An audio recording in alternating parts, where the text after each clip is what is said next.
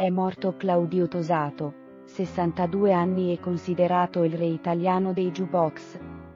L'uomo se n'è andato a causa del Covid, che lo aveva colpito poco tempo fa.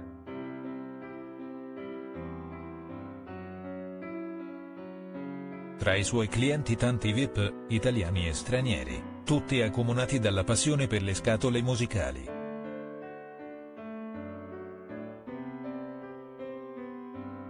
Originario di Castelfranco Veneto, Treviso, Claudio Tosato aveva ereditato dal padre, il ciclista Mario, l'amore per i jukebox,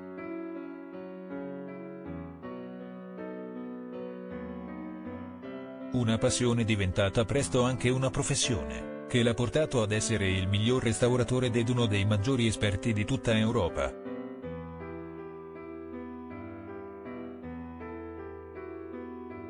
Anche dopo gli MP3 e i computer, Claudio Tosato aveva saputo reinventare la propria arte, diventando l'esperto di riferimento per tantissimi VIP.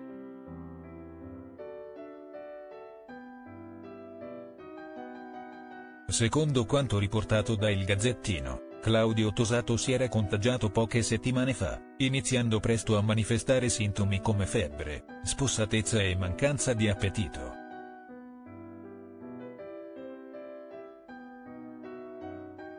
C'è da specificare che Tosato aveva anche altre patologie pregresse che hanno aggravato notevolmente il decorso della malattia.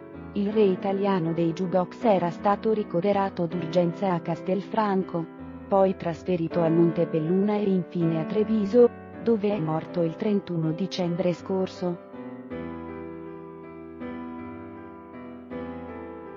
Tanti i suoi clienti più celebri, Caterina Caselli, Red Ronnie, Marta Marzotto, Alessandro Del Piero, Paolo Sousa, Edoardo Bennato e Renzo Rosso.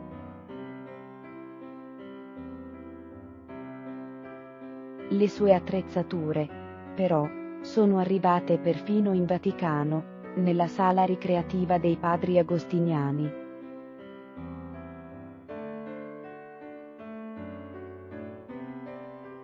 Alle fiere e alle altre manifestazioni espositive di settore il suo stand era sempre tra i più visitati.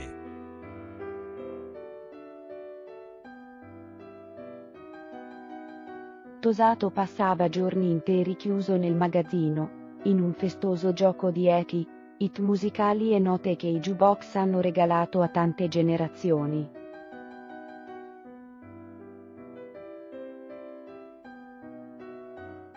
Ti potrebbe anche interessare. 3 gennaio 2021 barra